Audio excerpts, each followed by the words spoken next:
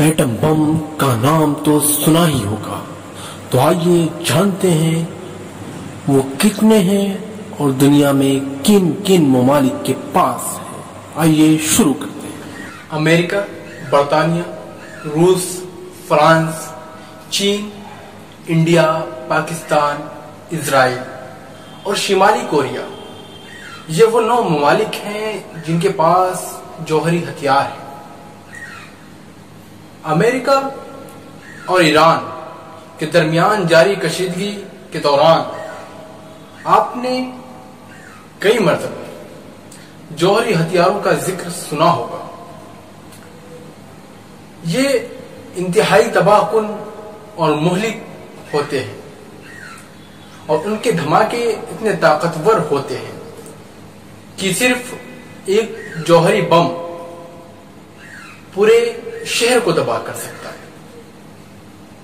एक जौहरी बम से सबसे बड़े गैर जौहरी बम से कहीं ज़्यादा तबाही ला सकता है। जी हाँ नाजर। इस बारे में बार बार ये कहा जाता है कि कुछ मुल्कों के पास जौहरी बम नहीं होना चाहिए, जिनमें ईरान भी शामिल है, जबकि कुछ मुल्क उन्हें रख सकते हैं। किस मुल्क को उन्हें रखने की इजाज़त होनी चाहिए और किस मुल्क को नहीं? इस बहस का अहाता करना मुश्किल है। मगर हमने जो जौहरी हथियारों के बारे में अहम सवालों के जवाब जमा किए हैं, जिनके बारे में हम मजीद जानेंगे और इसी वीडियो में। दुनिया के जौहरी हथियार कहाँ हैं? और जौहरी हथियार क्या है? ये भी एक अहम सवाल है। ये इंतहाई ताकतवर दमाग खेज हथियार होते हैं। आपने स्कूल में साइंस की क्लासों में एटम और आइसोटॉप का ज़िक्र सुना। हो, वही आइसोटॉप जो हमने केमिस्ट्री में पढ़ा था। और वही एटम जो हमने केमिस्ट्री में जाना था। अमेरिका ने जापानी शहर हिरोशिमा पर 6 अगस्त 1945 को जौहरी बम गिराया। ये दोनों जौहरी बम के धमाका करने में अहम होते हैं। बम को एटम तोड़ने या उनके अंदर मौजूद खफीफ जर्रात को मिलाने से तवानाई मिलती है। इसीलिए जौहरी बम को अक्सर एटम बम भी कहा जाता है। जी हाँ जौहरी बम ही एटम बम होता है। जौहरी बम तारीख में सिर्फ़ दो बार इस्तेमाल हुए हैं। सन 1945 में दूसरी जंग अजीम के दौरान अमेरिका ने जापान पर दो आइटम बम गिराए, जिनसे शदीद, तबाही और बहुत ज़्यादा नुकसान हुआ।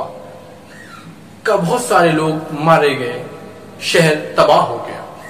हिरोशिमा पर गिराए जाने वाले बम के असरात कई माह तक रहे और अंदाजे के मुताबिक अस्सी हज़ार से ज़्यादा अफराद हिलाक नागासाकी पर गिराए जाने वाले बम से सत्तर हज़ार से ज़्यादा अफराद हिलाक हुए। और उसके बाद किसी भी जंग में उनका इस्तेमाल नहीं हुआ। जौहरी हथियारों से बड़ी तादाद में ताबकारी खारिज होती है। शोले फटते हैं। धमाके के बाद उसके असरात तवील अरसे तक रहते हैं। जिससे मतली उल्टियाँ, सर में दर्द और बुखार हो जाता है। किन ममालिक के पास जौहरी हथियार मौजूद है? ये भी एक बहुत बड़ा और अहम सवाल है। इस वक्त दुनिया में पाँच तस्लीम शुदा जौहरी रियासतें, अमेरिका, चीन, बरतानिया, फ्रांस और रूस जबकि चार दीगर ममालिक भी जौहर हथियार जौहरी हथियार रखते हैं। और इनमें से इंडिया, पाकिस्तान और शिमाली कोरिया जौहरी तजर्बात कर चुके हैं। जबकि इसराइल के बारे में यही ख्याल है कि उसके पास जौहरी हथियार हैं। ताहम सरकारी तौर पर इसकी तस्दीक न की जाती है। क्योंकि इसको सरकार नहीं दिखाना चाहती कि उनके पास भी हथियार है। अंदाजों के मुताबिक इन ममालिक के पास कुल हथियारों की तादाद चौदह चौदह हज़ार लगभग है और इनमें से ज़्यादातर हथियार अमेरिका और रूस के पास है।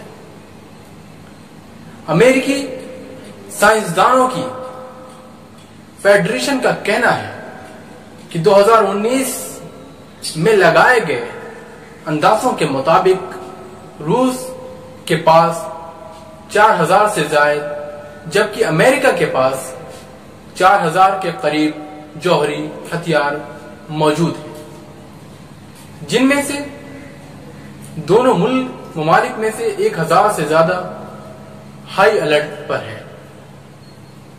उनके बाद फ्रांस का नंबर आता है। जिसके पास 300 जौहरी हथियार हैं। चीन के जौहरी असलहे की तादाद 290 के लगभग है।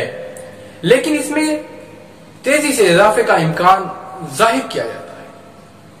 और यह भी कहा जाता है कि चीन जल्द अमेरिका और रूस के बाद ऐसे हथियार रखने वाला तीसरा बड़ा मुल्क बन जाएगा।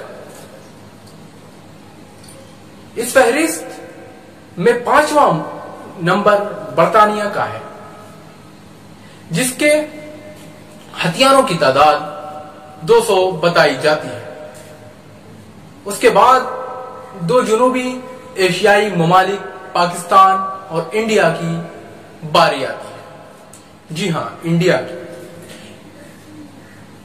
बिल तरतीब 160 और 140 जौहरी हथियारों का जखीरा है यहाँ पर। और अगर देखा जाए तो फहरिस्त में आठवां नंबर इसराइल का है, जिसके बाद यह अंदाज़ा है कि 90 जौहरी हथियार हैं, जबकि शिमाली कोरिया के जौहरी हथियारों की तादाद 30 बताई जाती है। जौहरी हथियार कौन बना सकता है? अगर आपको इस पर वीडियो चाहिए एक अलग वीडियो बनाकर पेश की जाएगी। वैसे तो जिसके पास भी टेक्नोलॉजी और महारत और सहूलियात मौजूद हैं, वो उन्हें बना सकते हैं। लेकिन किस मुल्क को उन्हें बनाने की इजाज़त होनी चाहिए, ये एक अहम सवाल है। और बिल्कुल अलग बहस है, और इस पर हम जल्द ही वीडियो बनाएँगे। इंशाल्लाह मिलते हैं अगले वीडियो में। अस्सलाम